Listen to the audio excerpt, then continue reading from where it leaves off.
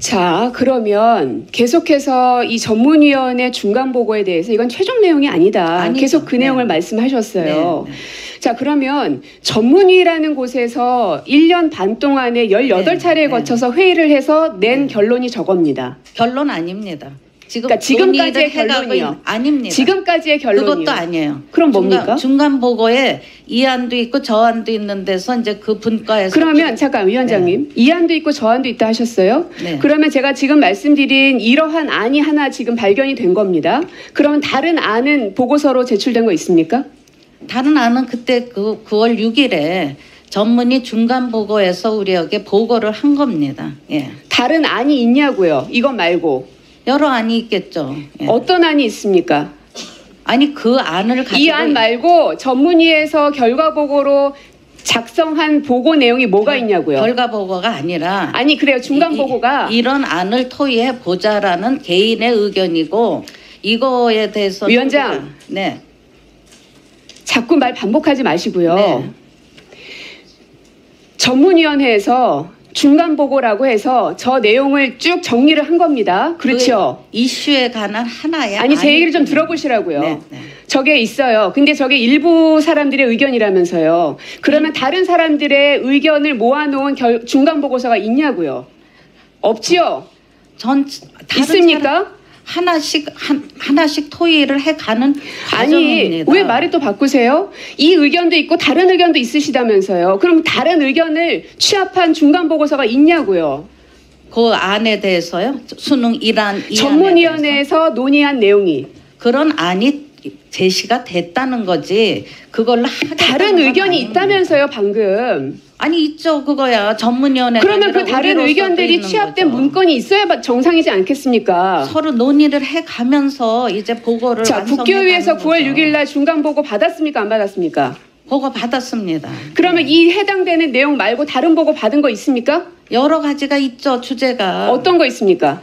여러 무슨 주제를 말하지 않았습니다. 수능 문제 그리고 수능에- 외부 평가에 대해서 다른 의견을 갖고 있는 결과 아, 중간 보고서가 또 있느냐고 제가 계속 묻고 있습니다. 그런 안이 개진됐다는 거죠. 그렇게 하겠다는 건 아니죠. 아니 그러니까 그게 국교위에 보고가 됐냐고요. 아니 그거 안 되셨죠? 됐을 리가 없습니다.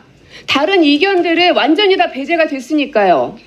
배제가 된 거는 아닙니다. 자, 9월 10일 날 8명의 전문위원들이 국회에서 기자회견했어요. 네, 본인들 그러니까 전문위 회의 참여 중단을 선언했던 거 기억하시죠? 네, 네. 왜 했습니까? 뭐 여러 가지의 또 불만으로 하겠죠. 뭐가 맨날 여러 가지 무슨 저는- 여러 가지요? 저는 그 그거에 대해서는 우리 김태준 상임위원도 기자회견을 했습니다. 그거에 대한 아닌 이유에 대해서도 이 8명은 의견이 완전히 100% 배제가 됐기 때문에 거기에 대한 항의 표현으로 회의 참여 중단을 선언한 거 아닙니까? 근데 이 사람들의 의견이 국교위에 보고가 됐다고요? 의견- 허위 사실을 말씀하세요? 의견이 개진된 건 아니고요. 그 다음에 추가로 나온 의견은 장선웅 위원장이 그 다음에 그거를 같이 포함해서 의견을 조율하기를 오늘 올해 10월 10일 날 전문위원회를 엽니다. 그래서 지금 과정 중에 있는 겁니다. 과정 중에. 전문위가 네. 아이고. 네, 장관님께 여쭙겠습니다. 그 6일에 교육부가 의과대학 학사 정상화를 위한 비상대책이라는 거 발표했죠. 네, 6년제 의과대학 과정을 5년제로 단축하는 것이 주된 골자이죠. 그게 주된 골자는 아니고요. 그 학생들의 내용이 들어가 있지요. 내용이 들어가 있습니다. 네. 그러면 대학들의 의견 수렴했습니까? 저희가 뭐 의료계와 그 꾸준히 대학들 의견 수렴했습니까? 소통을 하- 하고 소통하는 거 말고 대학들의 의견을 수렴했냐고요. 그러니까 뭐 저기 소통한 게 그 의견 수렴한 적이 없으시죠? 소통을 해서 그렇게 저 그 방안들이 나왔습니다. 대학들에서 소, 대학과 소통을 하신 겁니까? 의사들, 그러니까 교수들하고 소통하신 겁니까? 주로 이제 그 의대 학장님들 또 총장 의대 학장들하고는 네. 소통을 했다. 몇 개 대학이나 소통하신 건가요? 그 뭐 KMC라고 해서 의대 학장 그 모임이 있습니다. 거기와도 좀 정례적으로 저희가 대학 그럼 KAMC에 있는 학장들께서는 네. 6년제 대학을 5년제로 단축하는 것에 대해서도 큰 이견은 없었다 이렇게 받아들이면 됩니까? 아닙니다. 우리가 이제 그 여러 가지 의견들을 받아, 받아서 이제 정책을 만드는 거니까요. 저희가 뭐 정책 하나 하나를 다 허락을 받아야 되는 건 아니지 않습니까? 그러면 교수들에게는 의견 수렴하셨나요? 그러니까 의견 수렴이라는 게 여러 가지 이제 안들에 의대생들한테는 의견 수렴하셨나요? 뭐 그 전체 방안에 대해서 복지부하고는 협의하셨습니까? 워낙 지금 이제 그, 아, 그 방안이 이제 쭉 여러 가지 고민이 복지부하고도 안 하셨죠. 그, 뭐 복지부 복지부 장관님이 안 했다고 답변을 하셨습니다. 복지부와의 그 협의는 사실 그 이제 저희가 이제 정책을 마련한 다음에 이렇게 저 이야기를 그 우리가 한 걸로 알고 있습니다. 지금 6년제 의대 교육 과정을 5년제로 단축한다는 이야기가 나오면서 엄청난 후폭풍이 불고 있는데 결정한 다음에 나중에 논의하겠다. 복지부하고도 논의 안 돼 있지, 교수하고도 안 돼 있고, 의대생들하고도 안 돼 있고, 대학도 KAMC에 있는 학장들은 제가 다 확인해 보겠습니다. 자, 그러면 5년만 교육을 받아도 의사로서 충분히 교육이 가능합니까? 그 5년이라는 것이 뭐 절대 우리가 획일적으로 또 강압적으로 5년을 해라 그게 아니고요. 자율적으로 그러면 왜 그런 얘기 하셨어요? 아니 그게 이제 그걸 자율적으로 하, 고자 하는 대학들의 경우에는 그걸 허용하겠다는 그런 뜻입니다. 아, 그러면 자율적으로 하고자 하는 학교가 있었습니까? 어, 그런 의견들이 있었습니다. 네. 몇 개나 있었습니까? 뭐 몇 개까지 구체적으로 이야기할 수는 없지만 어, 지금 이제 워낙 1년 뭐개될 수가 있기 때문에 국립대학이 10개잖아요. 그 가운데 몇 개나 의사 표현을 했습니까? 가능할 수 있다. 뭐 저희가 일일이 다 확인하지는 않았고요. 그런 일일이 다 확인하지도 있었다. 않고 이런 네. 엄청난 걸 발표하셨어요. 엄청난 게 아닙니다. 자율적으로 그걸 엄청난 게 아니라고요. 아니 자율적으로 하겠다는 거를 지원하겠다는 거기 때문에 일일이 다 모든 그러면 획일적으로 강압적으로 하는 게 아니거든요. 장관님께서는 이게 엄청나지 않다고 인식하는 것 자체가 저는 문제인 것 같아요. 아니 그러니까 획일적으로 강압적으로 하지 않았다는 말씀을 드리는 겁니다. 강압적으로 하지 네. 않는다 하더라도 6년제로 운영됐던 것이 5년제로 단축할 수 있다는 것에 대해 문을 여셨어요. 장관님께서 그냥 일개 교수도 아니고 학장도 아니고 장관께서 그 얘기를 어쨌든 교육부 아 저 교육부가 공식적으로 얘기를 하신 거란 말입니다. 그러면 거기에 대해서 연구용역과 같은 5년제로 해도 크게 문제 없다, 무리 없다. 교- 그 의사들을 배출하는 데 있어서 이런 연구용역은 하신 적 있습니까? 지금 워낙 이제 의료 그 인력 수급이 뭐 비상 상황입니다. 그래서 이런 비상 상황을 극복하기 위해서 여러 가지 방안들이 제안이 됐었고 그 제안 중에 그 5년을 자율적으로 하는 경우에는 정부가 그 질 관리라는 그러면 차원에서 잘 지원하겠다는 겁니다. 5년제는 실현 불가능하다. 우리 학교는 할 수 없다. 그래서 결과적으로는 어떠한 학교도 할 수 없다고 하면 교육부는 뭐가 되나요? 그냥 폐기되는 거죠? 아, 그러니까 할 수 있는 대학의 경우에는 지원을 하겠다는 뜻이기 때문에 할 수 있는 대학이 없으면 아, 만약에 할 수 없는 대학이 없으면 그러면 우리가 하- 하- 이제 못 그- 하겠죠. 안 하는 거죠. 네. 네, 국민들께서 판단하시리라 보겠습니다. 어, 국교위 이배용 위원장께 여쭐게요. 네. 그 카톡 짬짬이 사건에 대해서 뭐 잘 아시고 계시고 그죠? 김경애 위원과 장순웅 공동위원장 간의 어, 사전 조율에 대한 이야기였습니다. 관련해서 제가 지난번에 조사하시라고 했는데 조사하셨어요? 네, 조사했습니다. 공동위원장 두 분. 짬짬이가 있었는지가 확인이 됐습니까? 장순웅 위원장께서 짬짬이는 없었다고 하셨습니다. 예. 음, 근데 참 희한하죠. 그때 카톡에 어, 나와 있던 내용들이 그 전문의 중간 보고 내용에 다 들어가 있더라고요. 그거는 이제 서로 논의하는 주제지 그거를 서로 합의하자 이건 아니에요. 네, 제가 확인해 드릴게요. 화면 보시죠. 그 보시면 외부 평가 도입하여 교과 성적을 내신을 이제 산출하겠다. 외부 평가를 도입하겠다는 내용이 카톡에 있었습니다. 그런데 전문의 중간 보고에 보면 똑같이 써 있어요. 외부 기관의 지필 평가 성적을 학교 자체 평가 성적과 합산하여 산출한다. 심지어는 구체적으로 전 과목 절대 평가, 지필 거사 외부 기관 평가라고 구체적 방안이 다시 한번 언급되기도 했습니다. 이 문서 아시죠? 네, 봤습니다. 네. 이 지필고사 외부기관 평가라는 의미가 뭡니까? 그 아마 객관성과 공정성 때문에 외부 기관 평가인데 그거는 개인의 그러니까 내신 제도가 무력화되는 거죠? 논의된 게 아닙니다. 제가 의미를 물어본 겁니다. 네. 내신 제도를 결국 무력화한다는 내용이죠. 그거는 아닙니다. 아니라고 합니다. 근데 그럼 뭡니까? 또- 또 평가라는 게? 우리가 본격적으로 논의한 것도 위원장님, 아니고 지금 네. 내신 제도는 각 네. 학교에 있는 선생님들께서 네. 학생들에게 내가 가르친 것에 대한 것을 평가하기 위해서 중간 기말고사는 네. 내신으로 그렇게 각 학교마다 네. 다르게 네. 시험 출제하고 네. 있습니다. 네. 근데 외부 기관에서 평가한다는 거는 이거는 학교 선생 님들이 내신 제도가 완전히 무력화되는 거죠. 뭐 저도 그렇게 생각합니다. 그죠? 네. 네.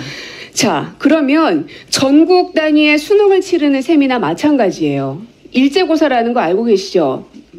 문제가 옛날에, 있었기 네. 때문에 지- 없어지기도 네. 하고 이제 표본 표지 평가로 네. 바뀌기도 하고 다양한 굴곡들이 있었는데 외부 기관 평가를 하겠다는 거는 내신 제도를 완전히 무력화시키고 일제고사를 다시 부활시키겠다는 겁니다. 거기에 대한 우려가 많다는 것도 위원장 알고 계시죠? 근데 그거는 개인의 의견 제시지 아니 저희가 우려가 있다는 걸 알고 있냐는 아닙니다. 걸 물었습니다. 네, 받아들이는 건 아닙니다. 개인 의견이지. 네. 그러니까 우려가 있다는 건 알고 계십니까? 네, 네, 네. 네. 하나 더 보여드릴게요. 자, 카톡에서 또 그 진로형 수능 도입, 즉 수능을 1, 2로 이원화하겠다는 내용이 들어가 있습니다. 그런데 이 전문의 보고에 보니까 이 역시 똑같이 들어가 있어요. 네. 수능 이원화, 심지어는 수능을 연 2회 실시한다는 겁니다. 그럼 학생들 입장에서는 2회, 2회에서 1년에 수능을 4번 봐야 되는 거예요. 그렇죠. 네. 그렇죠. 네. 이거 그냥 별게 아닌 걸로 아닙니다. 그냥 아닙니다. 이것은 네. 중간 보고에 불과하지 그게 완성된 것도 아니고 또 저희 본위원회에서는 토의되지도 않았어요. 저로서도 수능 이- 이원화에 대해서는 제 개인으로서도 동의하지 않는 부분입니다. 예. 자, 그러면 계속해서 이 전문위원회 중간 보고에 대해서 이건 최종 내용이 아니다. 아니죠. 계속 그 네. 내용을 말씀하셨어요. 네, 네. 자, 그러면 전문위라는 곳에서 1년 반 동안에 18차례에 네, 네. 거쳐서 회의를 해서 낸 결론이 저겁니다. 결론 아닙니다. 지금 그러니까 지금까지의 결론이요. 아닙니다. 지금까지의 결론이요. 그것도 아니에요. 그럼 뭡니까? 중간, 중간 보고에 이 안도 있고 저 안도 있는 데서 이제 그 분과에서 그러면 잠깐 위원장님 이 안도 있고 저 안도 있다 하셨어요. 네. 그러면 제가 지금 말씀드린 이러한 안이 하나 지금 발견이 된 겁니다. 그러면 다른 안은 보고서로 제출된 거 있습니까? 다른 안은 그때 그 9월 6일에 전문의 중간 보고에서 우리에게 보고를 한 겁니다. 예. 다른 안이 있냐고요. 이것 말고 여러 안이 있겠죠. 예. 어떤 안이 있습니까? 아니 그 안을 가지고 이 안 말고 전문위에서 결과 보고로 작성한 보고 내용이 뭐가 있냐고요. 결과 보고가 아니라 아니 그래요. 중간 이- 보고가 이런 안을 토의해 보자라는 개인의 의견이고 이거에 대해서 위원장. 네. 자꾸 말 반복하지 마시고요. 네. 전문위원회에서 중간 보고라고 해서 저 내용을 쭉 정리를 한 겁니다. 그렇죠. 그 이슈에 관한 하나의 아니 제 얘기를 좀. 들어보시라고요. 네, 네. 저게 있어요. 근데 저게 일부 사람들의 의견이라면서요. 그러면 다른 사람들의 의견을 모아놓은 결- 중간 보고서가 있냐고요. 없지요. 전 있습니까? 사람 하나씩 한 하나씩 토의를 해 가는 아니 과정입니다. 왜 말을 또 바꾸세요? 이 의견도 있고 다른 의견도 있으시다면서요. 그럼 다른 의견을 취합한 중간 보고서가 있냐고요. 그 안에 대해서요? 수능 일안 이 전문위원회에서 논의한 내용이 그런 안이 제시가 됐다는 거지 그걸로 다른 건 의견이. 있다면서요 방금. 아니 있죠 그거야 전문위원회 그러면 그 다른 의견들이 취합된 문건이 있어야 정상이지 않겠습니까? 서로 논의를 해 가면서 이제 보고를 자, 국교위에서 가는 9월 거죠. 6일 날 중간 보고 받았습니까? 안 받았습니까? 보고 받았습니다. 그러면 이 해당되는 내용 말고 다른 보고 받은 거 있습니까? 여러 가지가 있죠 주제가 어떤 거 있습니까?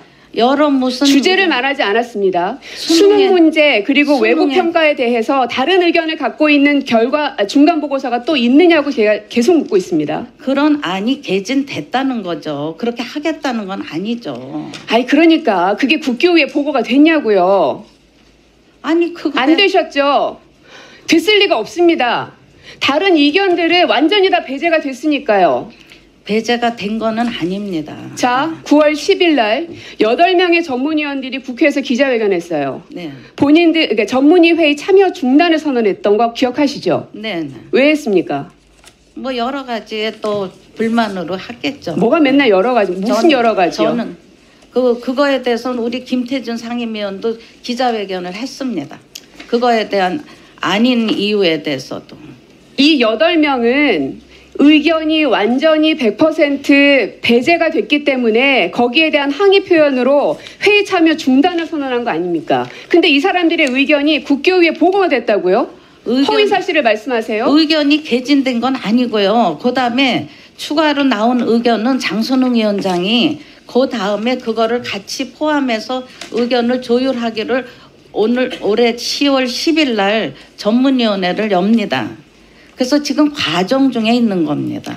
과정 중에. 전문의가 네. 아이고